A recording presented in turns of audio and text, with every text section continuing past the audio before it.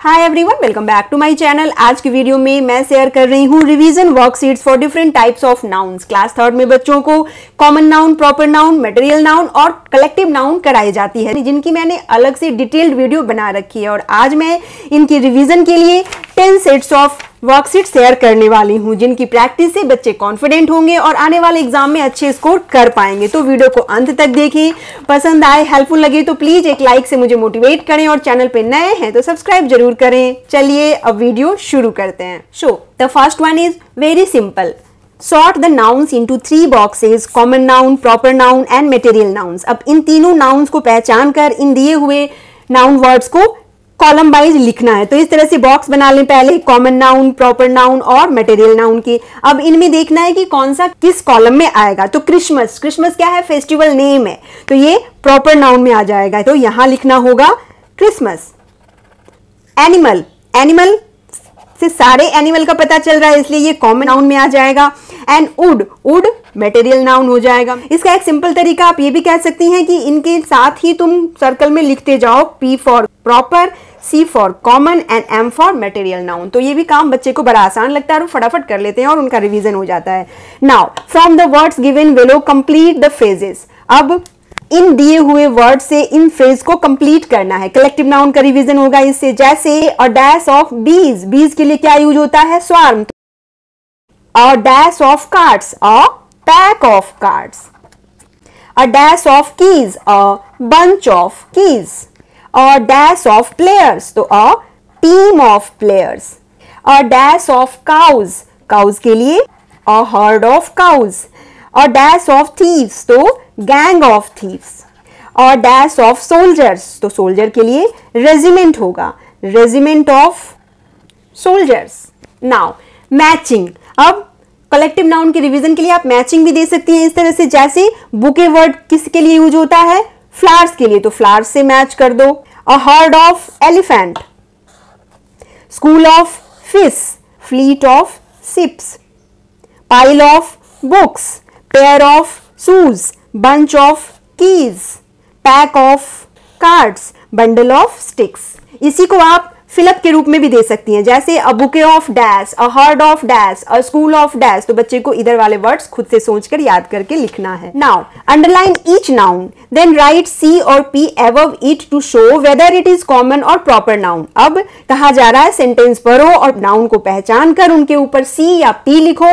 मतलब C for common noun and P for proper noun लिखना है। तो यहाँ सैम एट एंड ऑरेंज तो सैम और ऑरेंज दोनों ही नाउन वर्ड है। सैम क्या है? बॉय का नेम है। सिंगल बॉय का नेम है इसलिए प्रॉपर नाउन हो गया और ये पी हो गया। और ऑरेंज से कौन सा ऑरेंज नहीं पता चल रहा है? सारे ऑरेंजेस की बात हो रही है इसलिए ये कॉमन नाउन हो गया। इस तरह से। Next Paris is a city in France तो पेरिस सिटी और फ्रांस तीनों ही क्या है? नाउन वर्ड है। पेरिस प्रॉपर नाउन हो गया। फ्रांस भी प्रॉपर नाउन हो गया और सिटी कॉमन नाउन हो गया। तो यहाँ सी लिखना होगा। Next India is a country of villages तो इंडिया कंट्री और विलेजेस ये तीनों नाउन वर्ड हैं। इंडिया प्रॉपर नाउन हो गया। कंट्री कॉमन नाउन होगा। और विलेज भी कॉमन नाउन होगा। क्योंकि विलेजेस है, कौन सा विलेज ये नहीं बताया जा रहा है। Next elephant is a huge animal अब एलिफेंट और एनिमल दोनों ही नाउन वर्ड है एलिफेंट प्रॉपर नाउन है और एनिमल कॉमन नाउन है। इस तरह से Neha is a clever girl अब नेहा और गर्ल दोनों नाउन वर्ड है। नेहा प्रॉपर नाउन हो गया और girl common noun Rohan is playing with a ball तो रोहन प्रॉपर नाउन है और बॉल कॉमन नाउन है। Now circle the collective nouns sentence पढ़ो और कलेक्टिव नाउन को सर्कल करो। जैसे my mother has a pretty string of pearl तो यहाँ स्ट्रिंग हो गया collective noun Meera has a whole library of story books तो लाइब्रेरी हो गया। The flock of birds flew high in the sky तो फ्लोक कलेक्टिव नाउन है। And army is marching army collective noun है।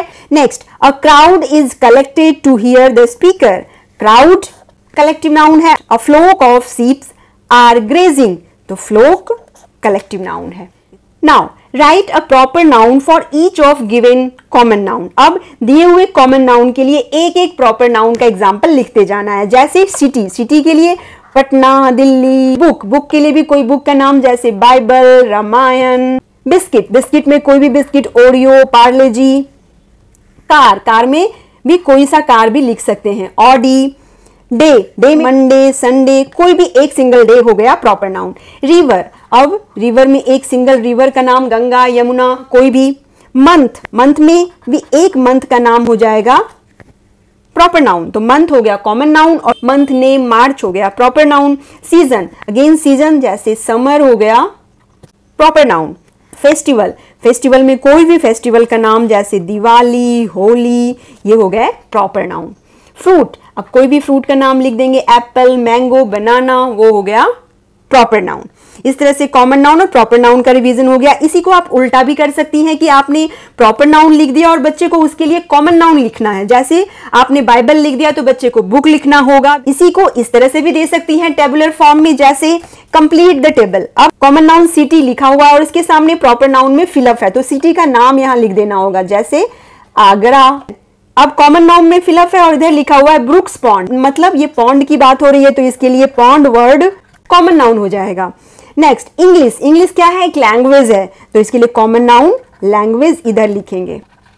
Country common noun country के लिए proper noun में कोई भी कंट्री का नाम यहाँ आप लिख सकते हो। Now fill in the blanks with proper और कॉमन नाउन्स अब फिलअप में या तो प्रॉपर या कॉमन नाउन लिखना है, खुद से सोचकर। जैसे we went dash by dash अब यहाँ कोई भी सिटी का नाम लिख दो, आगरा लिख दो, पटना लिख दो। एंड बाय कार या ट्रेन अपनी मर्ज़ी से। तो ये कॉमन नाउन हो गया और ये प्रॉपर नाउन हो गया, दोनों ही हो गया। द डैश इज़ बार्किंग अब यहाँ क्या हो सकता है? The dog is barking dog common noun हो गया।